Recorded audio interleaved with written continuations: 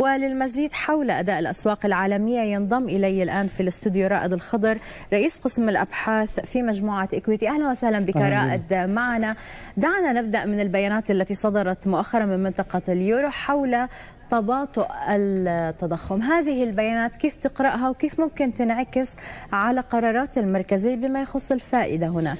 يعني كان هناك بعض التلويح من كريستين لاغارد رئيسة المركز الأوروبي بأن التضخم يستهدف آه، باتجاه المستهدف وهو آه، نعم. عند مستويات مطمئنة ويمكن أن يكون هذا إيعاز مسبق أن المركز الأوروبي يتجه إلى تسهيل أكبر في السياسة النقدية وربما تقليص أسعار الفائدة بشكل أكبر حتى يعالج جانب النمو في الأسواق وحتى نعم. يعود نوعا ما لتحفيز الاقتصاد بشكل عام ولكن نحن نعلم تماما أن الوضع بالنسبة للمركز الأوروبي الأوروبي بالنسبة لمنطقة اليوروزون ليس بسلاسة الموقف في الولايات المتحدة الأمريكية. نعم. سوف يكون هناك مخاوف عودة التضخم للارتفاع مرة أخرى. ربما ساهم في تراجع التضخم تراجع أسعار النفط. نحن عم نشوفها أنه خلال الربع هذا تراجعت بأكثر من 19% ولكن آه هذا لعب دورا هاما في أنه يتراجع عندي التضخم لكن نعلم تماما أنه مشكلة منطقة اليورو حاليا أسعار الفائدة ليست بمرتفعة بشكل كبير. ليس لديهم مجال كبير لتقليص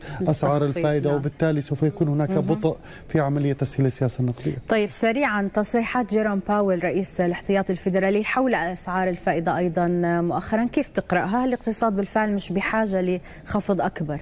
ربما نحتاج قراءة آه، آه، سوق العمل آه، بنهاية عملات نعم. هذا الأسبوع للوقوف حقيقة إذا ما كان الضرر كبير داخل الاقتصاد مم. نحن اليوم عندنا بعض البيانات ممكن تصدر في الولايات المتحدة الأمريكية ISM manufacturing وهو مهم جدا للصناعات التحويلية ولكن الصناعات نعم. غير التحويلية لا تزال في انكماش وهذا يعطي إشارة سلبية أيضا سوق العمل في بعض الضعف والتراجع فهل سوف يضطر الفدرال الأمريكي إلى تقليص أكبر في أسعار الفائدة من 25 نقطة أساس. أعتقد جيروم باول يوم أمس قال لا وأن هناك فقط خفضين مقبلين آه، ب 25 نقطة أساس كحد أقصى والعودة إلى التقليدية في تسهيل السياسة نعم. النقدية. نعتقد أن الاقتصاد الأمريكي متماسك وأداؤه إيجابي آه، بشكل عام.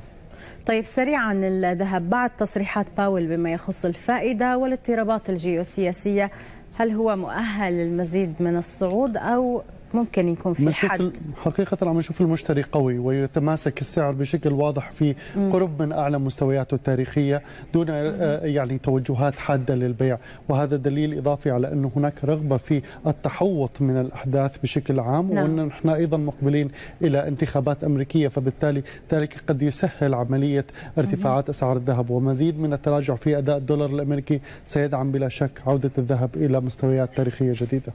طيب النفط شوي محيرنا اليوم ارتفع شوي رجع انخفض على الرغم من الاضطرابات الجيوسياسية صحيح. شو اللي ممكن يكون أدى لانخفاضه؟ حقيقة نحن عم نشوف إنه النفط آه، في عندنا ضعف بالطلب يسيطر على الموقف بشكل كبير جدا، فقد مم. النفط ما يقارب 19% خلال الربع الرابع نعم. آه، الربع الثالث، آه، مم. عم نشوف سبتمبر كان أداؤه 9% فقط كان تراجعاته لوحده كان شهر سبتمبر، مم. مع ذلك التوترات الجيوسياسية لم تدعم أسعار النفط بشكل كبير جدا، ربما ضعف الصين هو السبب الرئيسي بتراجعات أسعار يعني النفط. ضعف الطلب سبب أقوى من الاضطرابات الجيوسياسية إذا شكرا لك رائد الخضر رئيس قسم الأبحاث في مجموعة إكويتي. يعطيك العافية رائد. شكرا.